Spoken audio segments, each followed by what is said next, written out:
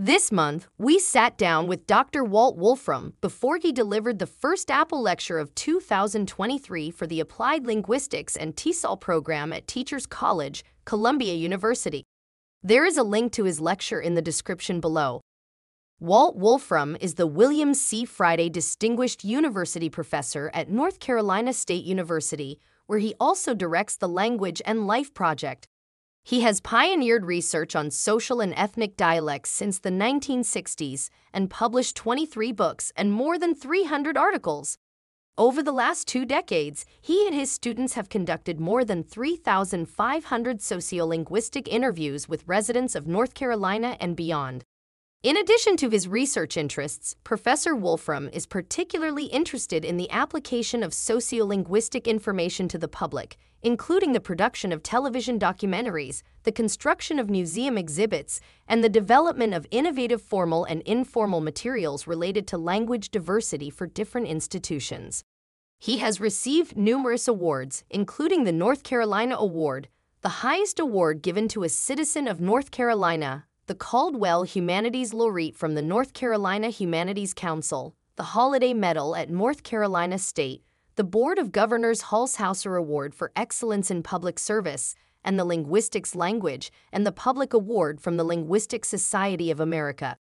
He has been inducted into the American Academy of Arts and Sciences and served as president of the Linguistic Society of America, the American Dialect Society, and the Southeastern Conference on Linguistics. Thank you so much for joining us here today, Dr. Wolfram. Um, on behalf of the Studies in Applied Linguistics and TESOL Journal here at Teachers College, um, we'd like to thank you for taking the time to chat with us. And I'll just get started with our first question, if that's My okay. pleasure. Um, so, how did you first become interested in linguistics and in the study of American dialects in particular? Uh, it's actually sort of a experiential story. I, uh, my parents were German immigrants, and so they didn't speak much English. But I was born in 1941, which was not a good time for Germans in the United States. Okay, and so and so, uh, one of the things that I noticed early was I did not want to be German. I wanted to be American because the stigma, you know, whenever the kids played war games, who's going to be the German and die? so, so, but in order to become Americanized, as I thought of it, because I went to a German church, we lived in a German community, my parents spoke German and so forth. Uh, what happened was I started paying close attention to English speakers and the norms they used. And so while I was doing that, I wasn't thinking about future professions. I was just thinking about how I would could not be sort of a German nerd. Um, and so and so I started noticing a lot about the English variety, and and found out later that I had really sensitized myself to it. Uh, of course, the the problem was that I only knew one dialect, which was North Philadelphia. Uh, I didn't travel a lot because my parents had six kids and were poor. And, and so what I thought was the English language was the English of North Philadelphia, which I later realized when I went to college was not exactly sort of the normative variety of English that was spoken around the United States. And, and so that sort of motivated me even more. And so I've gradually uh, just sort of built up an affinity and sensitivity to sort of observing and assimilating language, and that's how it started. Then, of course, when you get into college, everybody is looking for courses that they're better than than other students, you know. And I was, and so when it got to languages, I started studying Greek and Latin and Spanish and so forth, and I realized, wow, oh, I get these languages better than other people, and so we're inclined to do things that we're better at.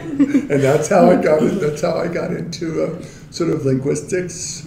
Uh, you know, I was I was a fine student in other areas, but I seemed to sort of excel when it came to languages. And then I studied language structure and found that linguistics was the same way. And so I just sort of, I didn't know what to do in life, and so I just continued.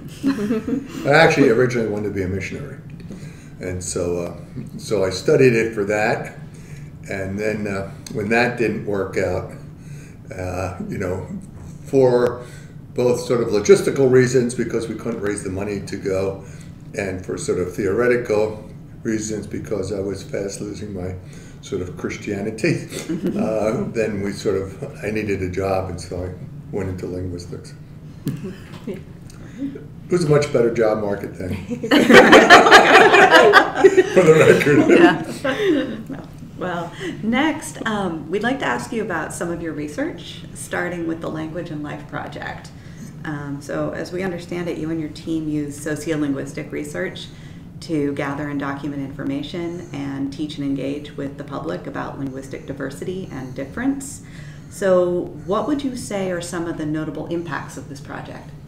Well, the, the notable impact is that uh, North Carolina is probably a more dialectally sensitive. Pe- more people are aware of dialects in North Carolina over the last 30 years because we've done a 15 TV documentaries. We've worked in 26 different communities, sort of in extended ways, and um, and we are at the state fair each year. We give out 7,000 over 7,000 buttons and so forth. So, so we have a really comprehensive program that ranges from a curriculum that we develop for eighth grade students to sort of getting lots of publicity and showing our documentaries and so forth. And, and that's eventually, um, and we've also we've also written um, popular books. Like one of our books is uh, commonly used by teachers. Uh, it's called Talking Tar Heel, and it has it was the first linguistics book to have 130 QRs.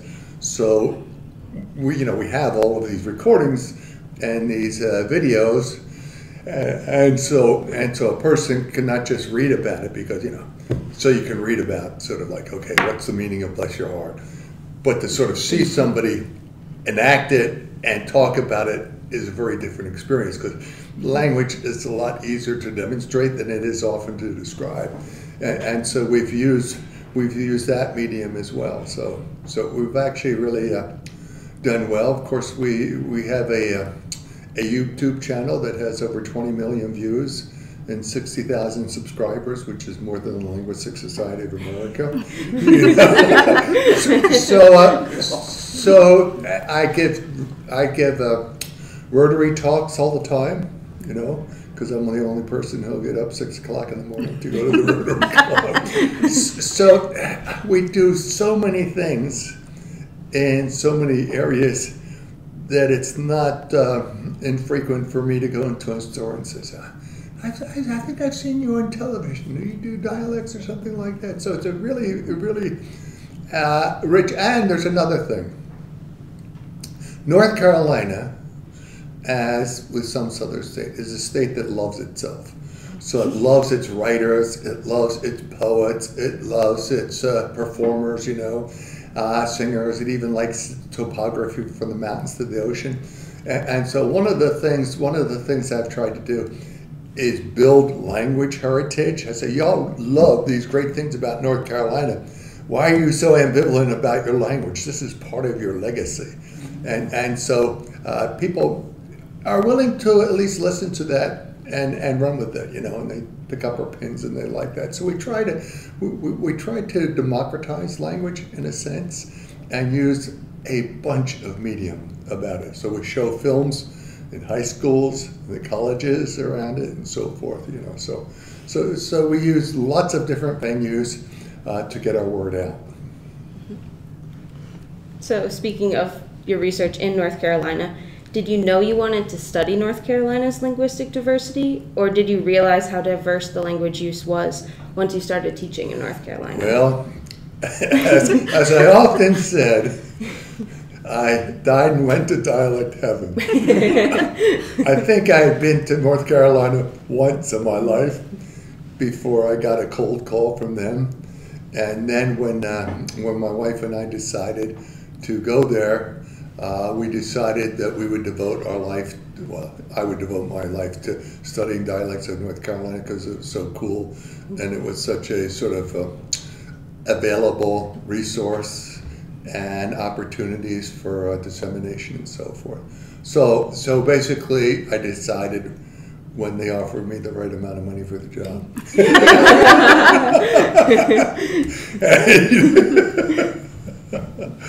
Fair enough. Yeah. Um, so you're originally from Philadelphia, yeah. and now you're doing North Carolina. So you've collected a lot of data from communities all across the United States, um, and a lot of those communities you're not originally a part of. So how do you come into these communities, build their trust, and then authentically represent the dialects in your yeah. work? Uh, that, that's a really good question. Um, basic, basically, one of the advantages of coming from a working class background, uh, and I'm the only college graduate in my family out of out of six kids, and my parents had an eighth grade. Is you stay humble in terms of other people, and and in terms of the communities we work with.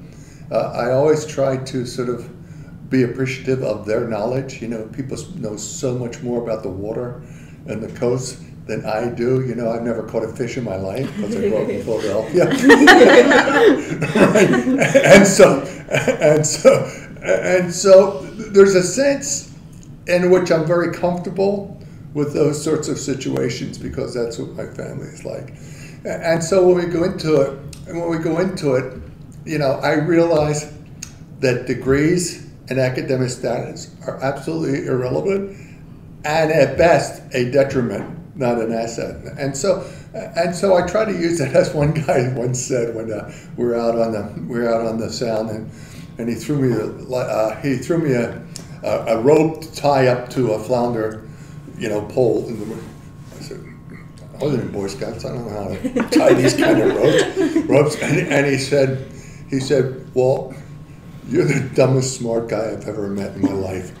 in a sense I can I consider that a compliment because what it says is sort of like you're like us, but you don't know much about how we do our lives, and we can sort of be the experts for you. And and so whereas someone I said, well, I want to be a smart guy, you know. And I've had students who've gone with us to the island, and they try to sort of exhibit their knowledge about fishing. They don't want to hear it. they want to hear from dumb guys. So so so in a sense, I, I, I try to be humble and I found I've found that uh, while there are certainly obstacles, me as an old white guy working in a, a sort of a, uh, an African American community or an American Indian community, well, there are certainly disadvantages. It can compensate uh, to some extent simply because of who you are and how you interact. Plus, one of our favorite communities where we work, Ocracoke, has a has a strong appreciation for humor, and so I tried to be sort of funny. I'm not sure I was, but I tried. Uh, so so they appreciate that, and uh, uh, and since I'm a pretty jovial kind of person and like to joke around and so forth. So, so that facet of my personality works, but you know, uh, there are there are still obstacles, and I, and I understand that. So, you live with it but you do your best. And I, I figure, I, I figure that authentic sincerity and uh, sort of openness are something that you can work as an advantage in the field. So that's what I do. Awesome, thank you. Um, so you've introduced the principle of linguistic gratuity, um, which is the idea that language researchers should give back in some way to the communities they collect data from. So, in your 2008 paper with Jeffrey Reaser and Charlotte Vaughn, you gave some examples of how this principle could be put into practice. Um, similar, like through documentaries, museum exhibits, and curricula. Uh, was there some specific experience or event that led you to developing and promoting this principle? First, I'll tell you a sort of funny story. Okay, that I had, I actually coined the term the principle of linguistic gratuity as a joke on Labov. And an earlier, and an earlier, Labov loves principles, right? And so he was talking about objectivity and involvement, and so he came up with these principles. One was the principle of uh, of uh, wrongness incurred or something like that, you know. So it's sort of, dude, that's not a principle. that's just a, that's just way of behaving. and, and so, so when we were talking about this, I thought, okay, Bill loves his principles, so I'm going to pull one on him and call it and, and use some big ass words and call it the principle of linguistic gratuity. And the next thing I know, the next thing I know, it's my life legacy. And I introduced this principle, which was really just intended as a joke on Labov. I'm not sure he ever got it or appreciated it, but that's how that's how that turned out. But but it's nice, you know. And and uh, one of the things you learn from that is sort of like uh, if you have names for things, it's uh, people are much more likely to sort of recognize these kinds of things, and so like, so my my stance on the uh, uh, on uh, African American English is sort of somewhere between the Creolists and the Anglicists, you know. But I actually gave it a term, and therefore with the term, you get credit for. so so there's a little bit there's there's a little bit of sort of marketing that's involved in this, and uh, and one of the things that I learned about myself is that uh, is that I'm a, I'm a bit of an entrepreneur, and so you know, so we started this whole sort of documentary series. There isn't a linguistic department in the world that has two full-time videographers. All right, but we started doing uh, documentaries. I hired a guy on uh, uh, on discretionary and grants and then after we had become known and won a couple of Emmys, I went to the I went to the school and said, you know, I think that the school should pick up this person, and so the department and the dean they they pay for one of our documentarians now, and the other one I pay for out of uh, out of funding and discretionary funds, and, and so I'm willing to sort of look at opportunities, and the guy that I hired you know, he walked into my office one day about 25 years ago. He said, I just got a degree in film studies. I said, and I heard that you might be interested in somebody doing documentaries. So I said, Are you any good? now, now, that sounds like that sounds like that sounds like a crass statement, but actually it's very diagnostic because what I'm looking for is is this guy is this guy uh, sensitive enough to say that he's good without bragging to me. And he did an awesome job of that. You know, I said, we'll hire you and we'll work with you. He's been with me for 25 years. So, so, so there, uh, you know, and so one thing leads to another, you know, and, uh, and so uh, at one point we said, well, you know, uh, it'd be good to sort of um, have a stand at the fair, you know, on the dialects of North Carolina, uh, where a million people come every year. State fairs are really big in the South. And you know, what do people like at state fairs? Oh, they like buttons. So we have uh, we have now about twenty dialect buttons that people pick up every year. We have a new one or two buttons that they can pick up, and people have them on their backpacks and so forth. And so these sort of little gimmicks, to, you know, we also have sort of interactional kinds of monitors so they can hear a person, guess where they're from, and then learn where they're from and stuff like that. But but it's it's it's these little gimmicks that people remember and that also sort of uh, get out the knowledge. And we have our website on there and so forth. So, so you, you sort of uh, uh, nothing. I never imagined a life like this because you know I was being I was born before word processing, copying, and computers.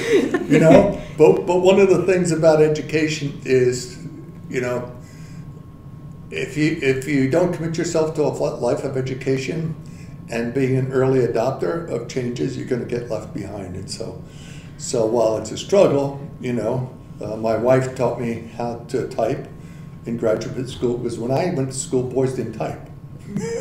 Only girls typed, right?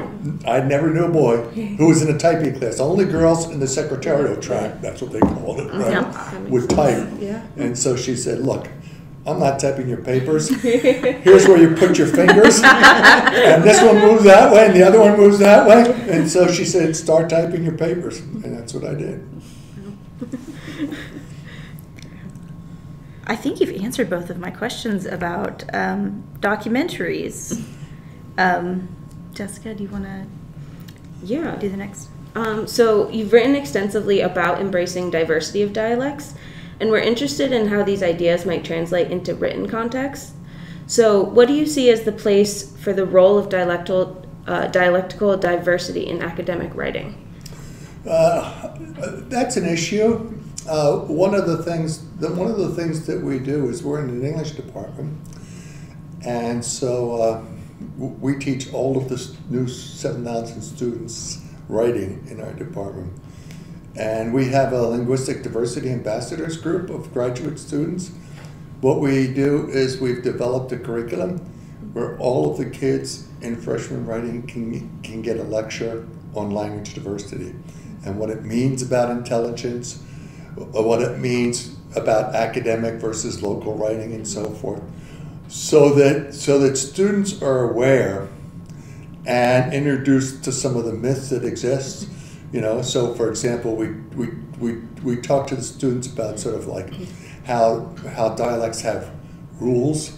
They're not a collection of errors as they've been taught. You know, mm-hmm. and so we we confront a lot of these myths, and then some of the students will actually even will even put statements into their syllabi that say, uh, you know, that say we will not penalize you for writing in forms that are from your dialect. You know, if you want us to work with you on it, we will do that, but we, you will not be penalized because it, it's it's not a function of sort of writing per se. So, so, so, so uh, that's one of the nice things about being in an English department where all this stuff is done, and also, you know, composition teachers, younger composition teachers are more informed of diversity and so forth. But we, we try to get them to put policy statements about how they're going to treat uh, dialect thing, related things in their writing. Yeah, really cool. Um, so you've shared a lot of your impactful projects that you've been working on. How do you see these evolving in the future? Well, you know, it's sort of, in, in one respect, you know, it's uh, it's difficult to envision what the world's going to be. Uh, by the same standard, you know, you have to be ready for change. And, and one of the things we found we found is that uh, universities tend to be slow in that regard. So we constantly find ourselves ahead of the university. So, for example, uh, we have we have a uh, electronic store where we sell products, everything from T-shirts to buttons to uh, to DVDs. Okay, but nobody buys DVDs anymore because they don't use them. Okay, so we now have a very robust YouTube channel which has over 20 million views and 60,000 subscribers. Okay, and so we asked the university uh, if we could get the proceeds from the ads that they show because Yeah. they're a profit. They said they didn't have a mechanism, and so we said, okay. So we set up a mechanism, which is my credit card. and every month, I now get a, I, I now get about a thousand dollars from the ads on there, which then I turn around and donate to the university. So, so, so you, so you have to be, you, you have to be sort of a step ahead and, and in sync with, uh, in sync with sort of a digital, uh, uh, you know, changes to sort of take a heat of that. But I, I find universities somewhat frustrating in that regard, you know. So first, when we had a store, we did it with PayPal. Well, that, that doesn't work because then you have to give the money and the transactions can be embezzled or whatever. But and and then we then we had a Yahoo store, okay, and they said, oh, you can't use Yahoo stores anymore. And then they gave us this clunky thing that was set up for donations and said, do your store on that, which was awful, you know. So, but uh, but uh, in a sense, one of the things I do is I don't worry about that. I do something, and if they tell me it's wrong, then I apologize and comply with them. And I get in trouble occasionally. well, because I mean, I mean, let's face it, you know, if the university realized that I was getting a thousand dollars a month in my checking account, all right, and sort of using it for my own, you know, affairs, then uh, that would be problematic. But I turn around and I give well exceed in excess of that to the university. So, so when they come around and say, "Oh, you can't do that," you know, are you embezzling funds? I said, "No. Look at what I've given to the university. Here's my checking account." And then they say, "Well, we'll do do this the right way now." So, I, I mean, I don't, I don't, I don't mean that to sort of uh, uh, to to undercut university practices but things happen fast in the business world, you know.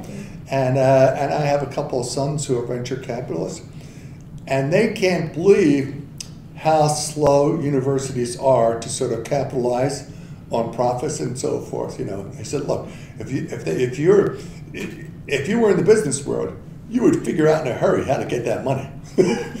But universities are in a different, uh, and, and so my feeling is you you have to sort of be innovative and uh, front and center and sort of lead the university until you get fired for it. Keep your receipts. maybe, maybe let's not send out the. Cut that.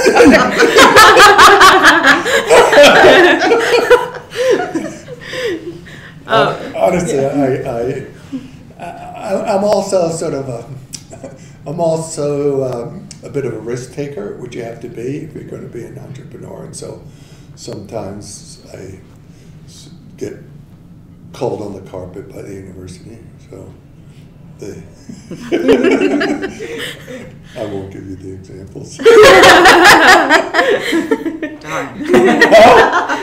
That would have been great. oh, well, then I'll give you. so, so recently, one of the things I do for my students is I buy them snacks, and so the deal is that if they if they get the snacks, uh, I'll give them the car and the and the credit card they can get. So one of my students took my car and crashed it and totaled it. Right? Okay. So the head of the department said, "Oh, is the university liable?" So she started calling around, and the next thing I know, I had a, I had a mandatory appointment with the legal officers of the universities because if a student is doing that, even if it's for students, but it's your car, they, it may be sort of an indirect sort of, well, are you violating your status as a professor? Mm-hmm. And then there was another occasion where I took students on a party bus to to a screening of one of our documentaries, and in the, and and uh, I put some pictures on Facebook of us drinking together. Everybody was legal and so forth, and that they were upset that they would show a uh, professor drinking with students because of its sort of presentation. But okay, so so that was that was the problem. Here was the explanation that they didn't buy that much. I said, you know, in part I can understand, you know, how it doesn't look good for me to be a professor. But I also want you to know that my view on the status between professors and graduate students is top heavy and oppressive. And that grad- graduate students are often considered to be the underlings, and there's oppression involved with that. So, ideologically, my approach is to view it more as a collaboration and to work with them more as I know it's simulated, but in a sense as equals, and we're doing these things together. You know, those kids who went on a party bus and never been on one before, they'll remember that the rest of their lives. And what a good evening they had watching with the community, sort of uh, one of our films on Talking Black in America. And so, so I explained that to them that while I could understand their point, part of it was ideologically driven and not simply and not simply me sort of wanting to flout uni- university standards. Right. I don't think they got it, but, but at least they got a rationale. you can do with whatever you want. I don't care. All right, well, connecting it back to our university here at Teachers College, many of us are language teachers. So, how can an understanding of sociolinguisti- sociolinguistics help us be better educators? Well, one of the things that I do uh, at the start of every semester is bringing bring in something from from sort of the outside world, you know, that relates to a language issue, you know, and it's easy these days, sort of in terms of. Uh, you know, in 1973, Dwight Bolinger published an article called Truth as a Linguistic Question. You know, we have all these issues of truth, so we talk about sort of what is truth, you know, how how the conversation can be direct and indirect, you know. So, so uh, I was just talking last week to a law school, uh, talking to them about sort of Trump's statement. If I could only find eleven thousand, so many eighty votes, you know, and and was he? Is that when he said, if I could just find, you know, there's a presupposition that they're there to be found. Then the question is, is that an indirect directive that he's liable for? Is he telling them to, to get those? And, so you, you see how complicated these things again, and uh, there's always something. There's always something about language prejudice, and so I so I tried to say that this is not simply a matter of esoteric linguistics. This is the stuff we live by, you know. And then I'll tell, and then I'll tell an example. Okay, so when I was a young man, uh, I had a mother for whom literal truth was sort of God's dictation from the for the world. And so when a young woman would call me on the phone, and I didn't want to talk to her, I could not stay in the house. I had to go out the front door and close the door. And then she could say he's not here. but the question is not, is Walt there? The question is, is Walt accessible for a telephone call, right? Right. But she interpreted it literally and said, well, Walt, step out the door. I'd step out the door and then she'd tell the truth. but, but, but, but the point is, the point is, we all have these sort of uh, episodes. So, for example, the student who crashed my car a couple weeks ago, all right, she hit a truck from the back, all right. So when I come back, I talk to her, you know, and she said, "Well, I slowed down, you know." But the immediate question is, were you texting?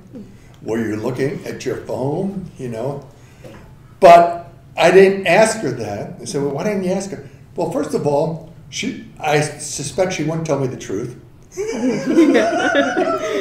and secondly, I didn't want to indirectly accuse her of doing that. You know, what were you doing that you ran into the back of a bus, a truck? So, so, so to sort of use these everyday examples, you, you know, helps people understand that that language analysis uh, uh, is is a sort of code we live by, and we do all of these things that we study, and they're essential to our lives. You know, so so that's one of the things that I try to do, and uh, and bring in all kinds of examples. You know, like news articles on sort of professionals' assessment of women's uptalk and and creaky voice and stuff like that. So so we discuss a lot of that in class, and so people, I, I want them to understand that linguistics while it can be esoteric, is totally meaningful in terms of how we live our lives. Definitely. Yeah. Mm-hmm. That's great advice. Yeah, for how teachers should start.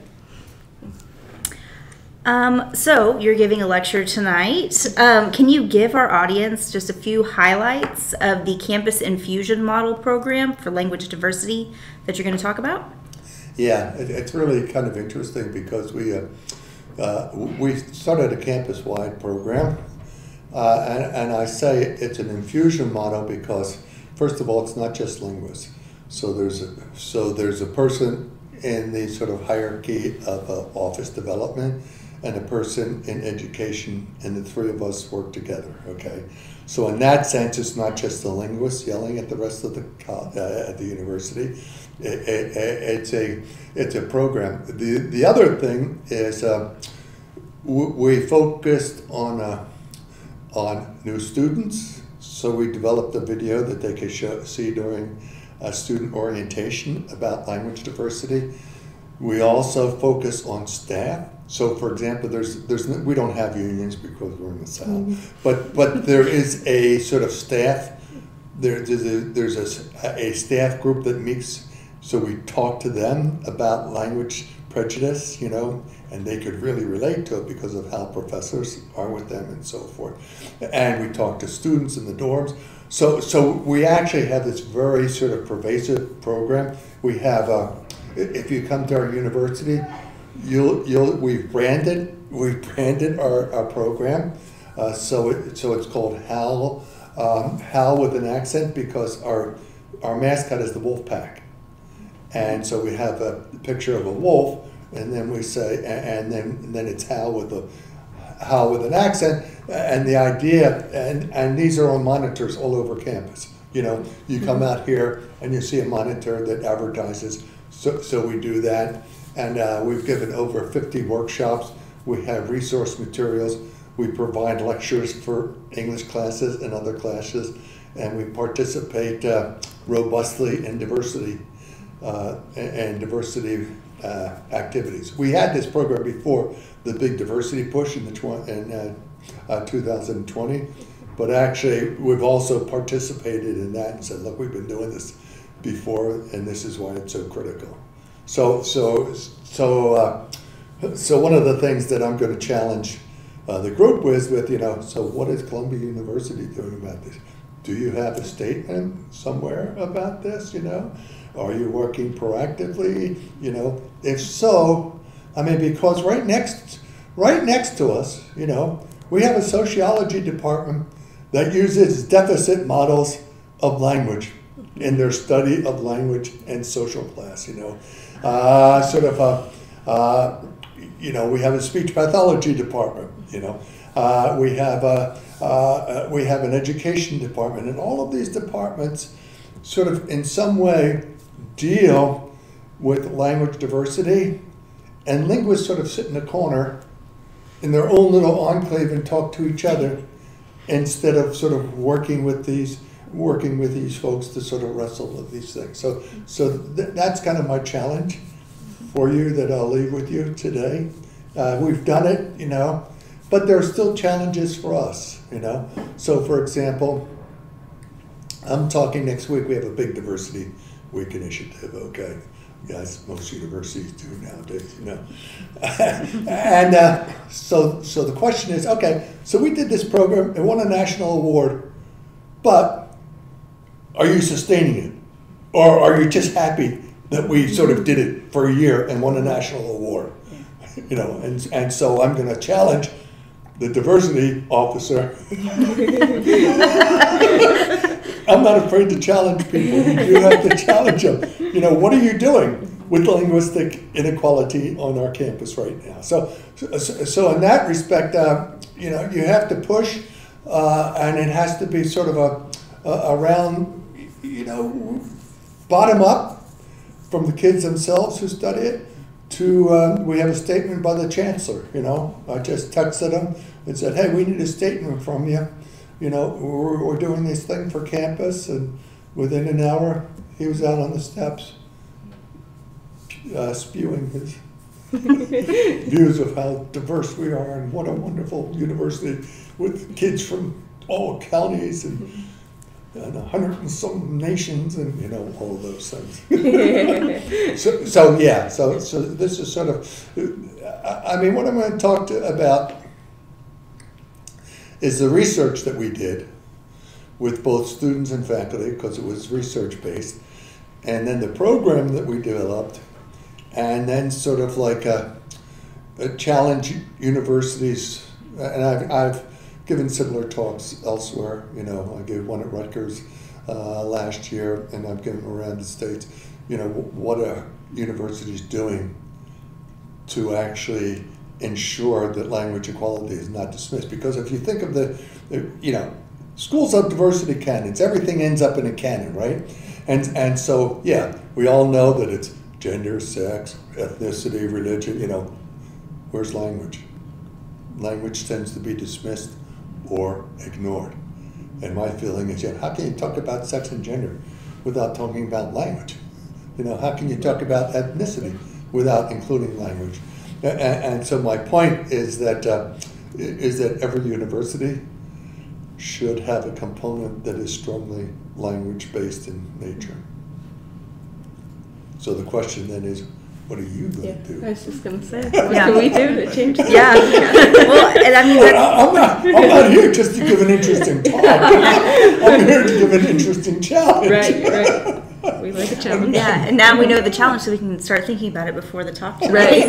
Like maybe I'll have an answer. I don't know. Um, so, uh, in addition to your documentaries, you've published several books intended for a public audience. Um, the three of us, as sort of like junior scholars, um, are very interested in getting our own work out into the public. Uh, do you have any advice for how you have gone about making your work more public, or how future researchers can? Yeah, well, uh, it, it's not as easy as it seems to write for popular audiences. You know, I learned, uh, I learned, for example, we did our first book on the Outer Banks in 1996. And I learned that people don't want to read 30 pages about grammar. you know? So, so one of the one of the things that I've learned, I've learned was is keep your chapters short, and uh, you know five pages. That that's about what people will read. I mean that's even true of students in classes now. To read an article that's 50 pages long. You know? Okay. Secondly, use technology. So, for example, our uh, our book, Talking Tar Heel, you know, which is written for a very popular audience, has 130 QRs. So all the stuff we talk about, you can then see. All you need is a phone, you know, and everybody. If you don't know how to use QRs now, you can't get a meal in some Yeah. places. right. So, so all you need, you need to do is click it, and you can see. So rather than me give you a definition of, of what bless your heart means, you know, that's it's a linguist sort of, you know, oh, it can be a compliment if it's an old person. I'm going to show you an example and how these people talk about it and how they use it and so forth.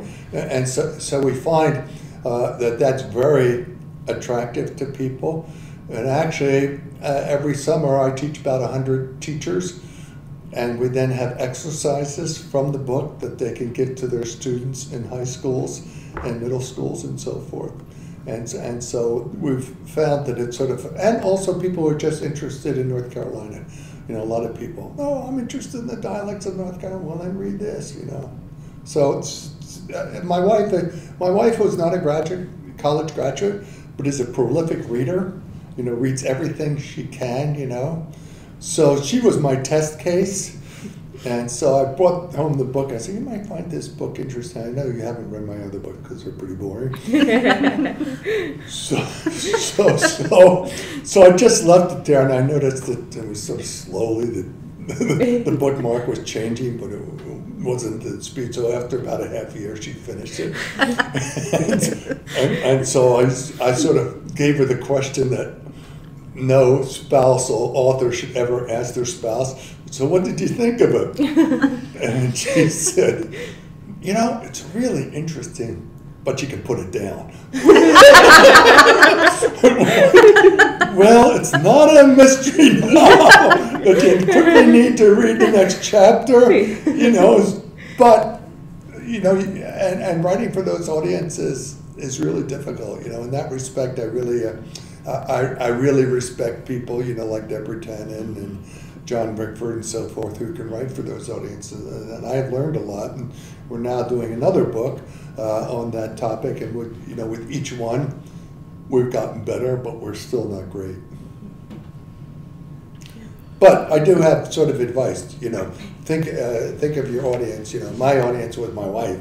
yeah, and I think the technology aspect is really sort of the wave of the future for Yeah. getting your work out. It was kind of interesting because we went when we went to uh, North Carolina University Press. You know, uh, I said, "Well, you know, we'd like to." Th- th- this is about six years ago. I said, "Well, well, we would like to include QRs. He said, well, we don't have a real a website that, you know, is fit for that. I said, come on, this is what publishers are going to be doing. You know, get with the game. I said, well, I said, okay, I'll tell you what, we'll do the website for you. Make it easy. We did the Yeah, website, yeah. and they were happy with it. But th- here again, you know, and it's sort of ironic. Okay, so here's this, here's this seventy-some-year-old guy telling them what to do with QRs. Yeah. You know, You're being the change. Yeah. but you know, if you're going to be an agent of change, you have to keep up with this stuff. And so I sort of, I sort of chided them for being behind the, behind the curve. So. Great. So, um, you know, speaking of the, the junior researchers, we're wondering what advice would you have for students who are interested in pursuing a career studying sociolinguistics? And what skills do you think are most important for their success?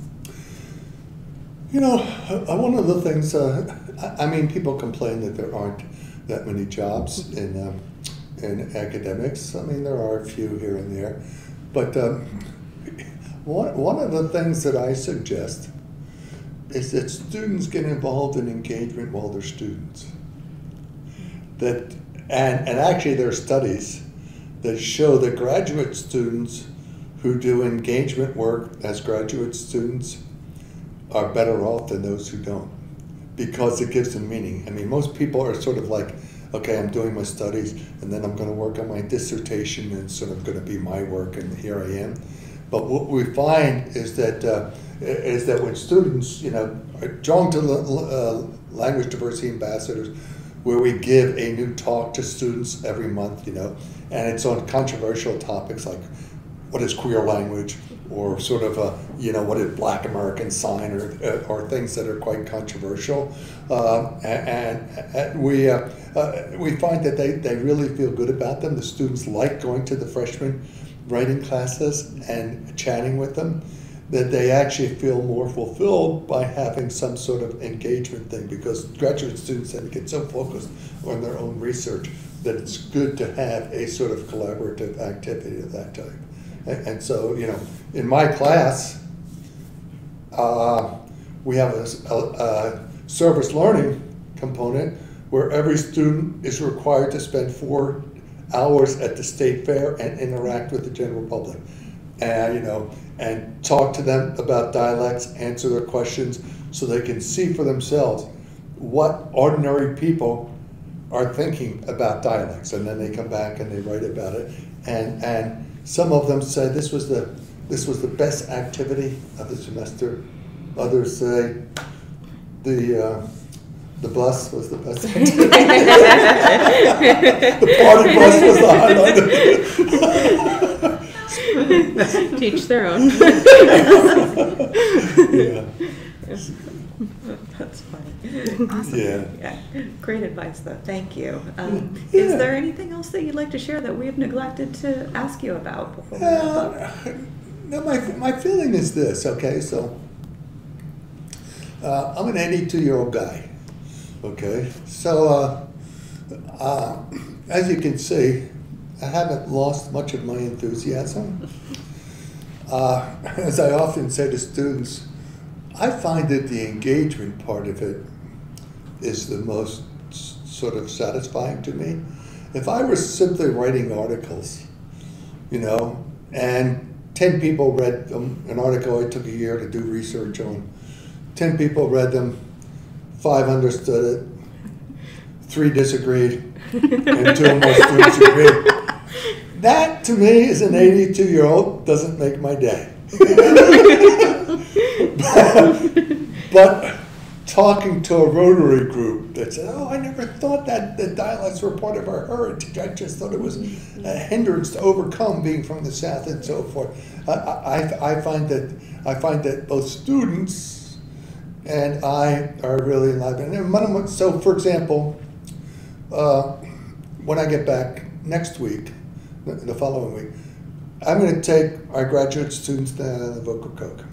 We developed a curriculum that we've taught for 30 years. They're going to spend the week, their, their, uh, their spring break, teaching eighth graders in Ocracoke about dialects, their own dialect, and the dialects of North Carolina. Again, many of the kids say that was the most purposeful thing I did, eh, you know, as a master's student with you. Sort of going down there, seeing the island, seeing how people live, seeing about your relationship with them and how they've sort of embraced and have for 30 years now.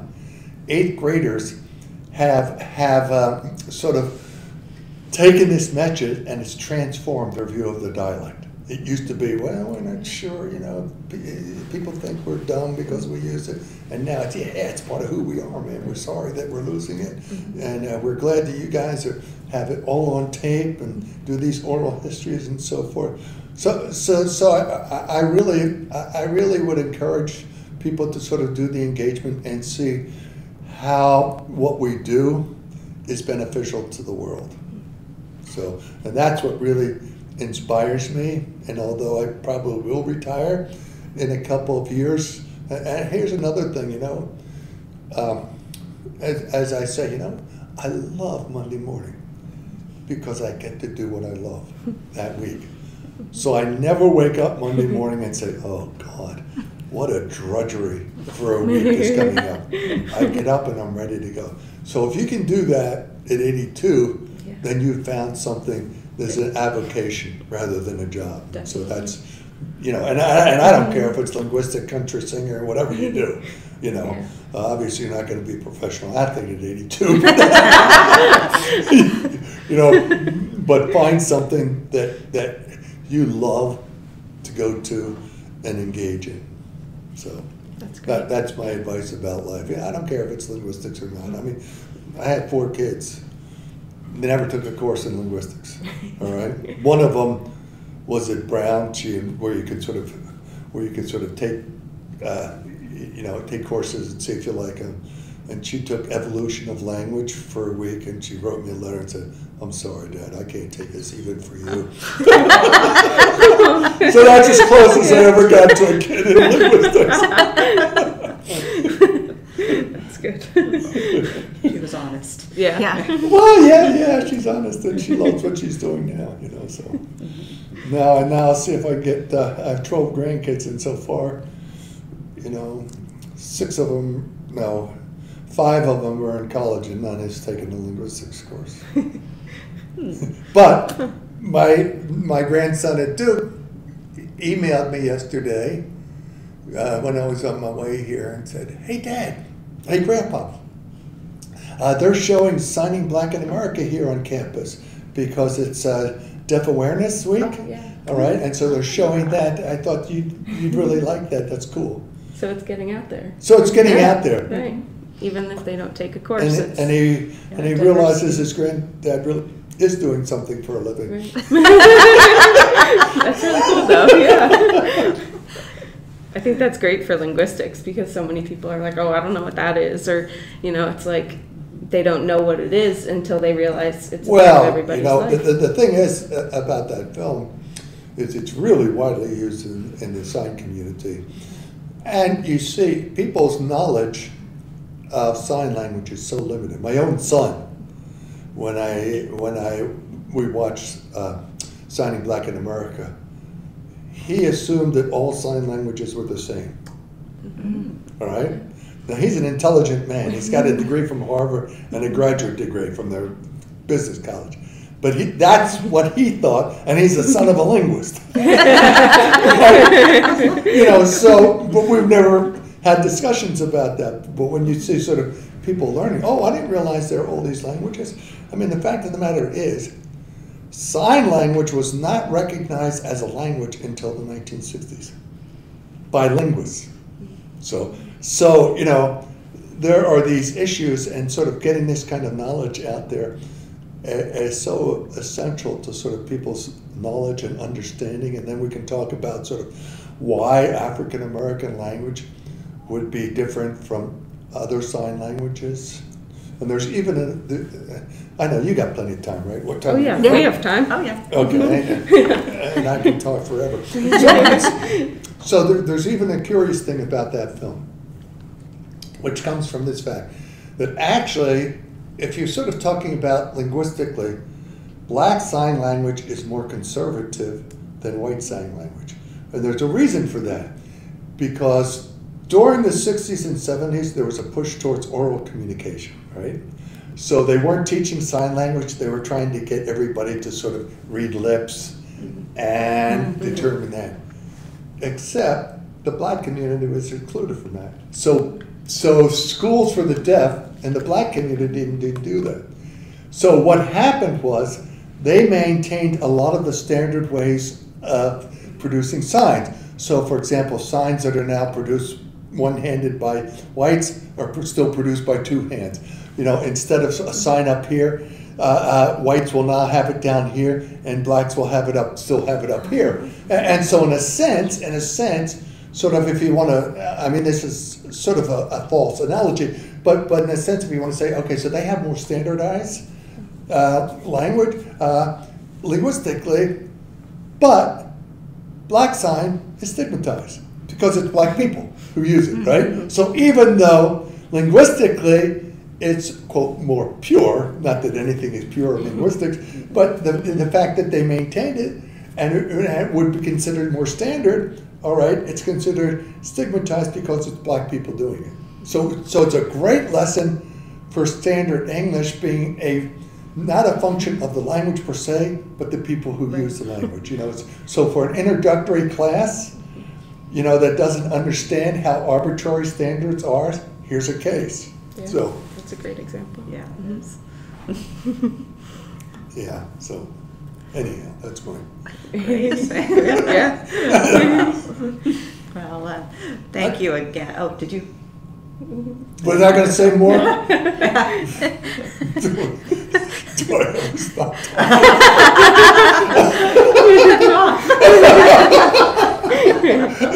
Yeah, we, we can No. up there.